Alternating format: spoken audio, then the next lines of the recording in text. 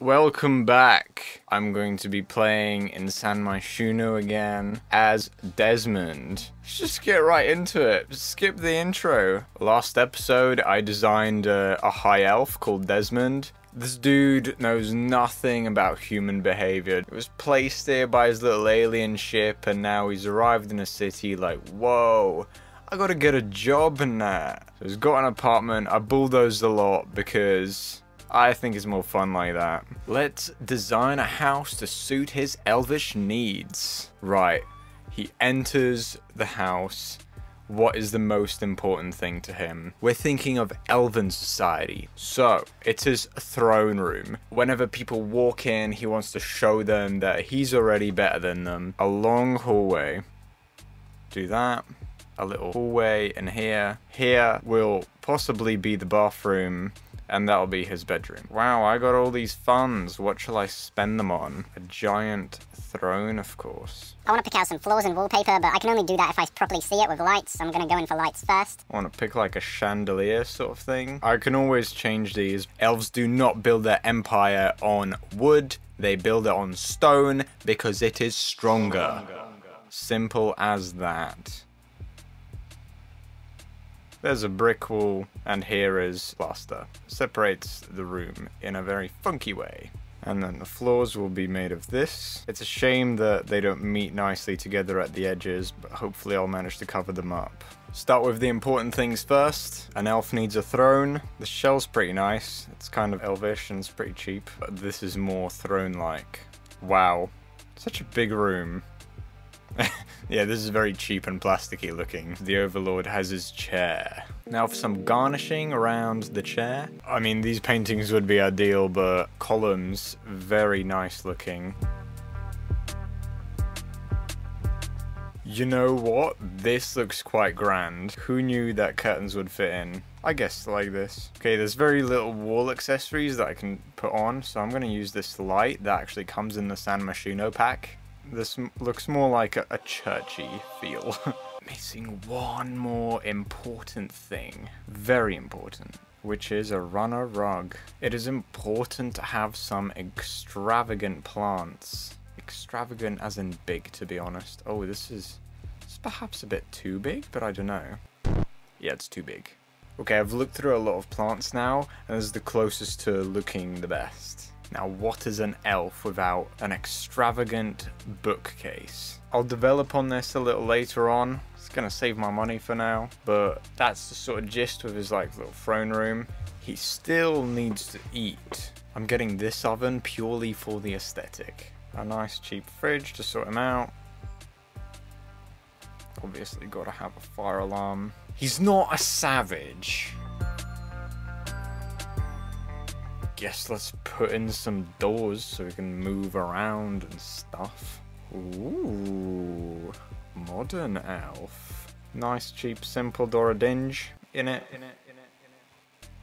Same concept. Let's move some lights in. Elf is used to sleeping in a cave. Let's make this room cave-like.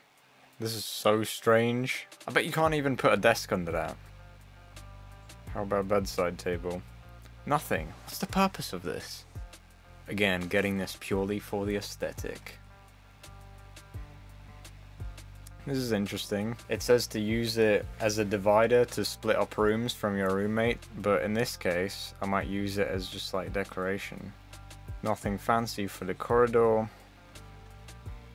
And then I'll make the bathroom a little nicer because need to complement that beautiful view while you're taking a rancid yeah.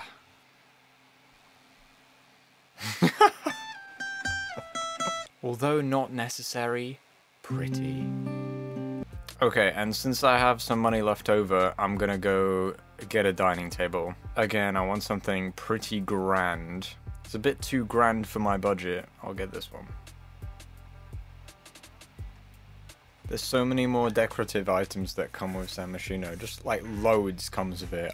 I'm so glad I got this back. And a dresser is important. Actually, I don't know why. Because he's not going to change his look ever. I guess, again, I'm just getting it for the aesthetic. Okay, we have a throne fit for a king, a nice dining table so he can have guests over, basic kitchen, suits your basic needs, toilet with an incredible view. Oh, I guess he needs a bathroom sink as well. Nice and cute.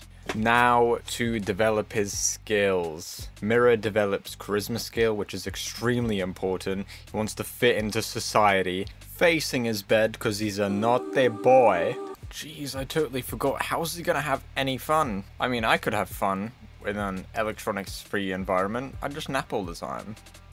I guess the computer will be important. He will have to create a social media account. Oh my god. How embarrassing for him. I mean, I'm embarrassed having a social media account. I just don't post on it. I don't post on it because I don't take pictures of myself. This is a really dingy corner. he turns on the gas lamp to go work on his computer. okay, I'm gonna leave the build mode stuff here for today. I think I've got everything sorted. It's always difficult starting off building things from scratch, but that's what I wanted to do. I wanted to give him a personality in his house. I'll just start playing now. Obviously, he starts with making the garden salad. Well, at least he's making a garden salad and not trying to cook something on the oven. He would definitely burn the house down. Look at him. He's already cutting his fingers off. Ramsay would not approve. You're gonna die from blood loss before you manage to feed yourself. Look at him, enjoying his loneliness. You're cooking again! What are you doing? He's gonna set the house on fire. What a noob. Morning log with your nice view. Beautiful. no!